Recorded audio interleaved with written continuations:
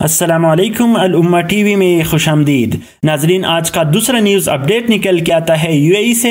UAE के hope mission ने पहला तस्वीर भेज दिया है, जिस पर सारी दुनिया से लोगों ने बहुत ज़्यादा तबसरे किए। इस मिशन ने यूएई को पहला अरब मुल्क बना दिया है, जो कि स्पेस रेस में शामिल हुआ हो। और यूएई के लिए एक बहुत अच्छी खबर भी है। ये स्पेस क्राफ्ट मार्स से इतने फासले पर है कि इससे हम वहाँ के मौसमी हालात का पता भी लगा सकते हैं। अगर आप इसके बारे में डिटेल में वीडियो चाहते हैं तो हमें कमेंट बॉक्स में ज़रूर बताइए। इस वीडियो में सिर्फ़ इतना ही। आने वाली वीडियोस के लिए हमारे चैनल को सब्सक्राइब करें।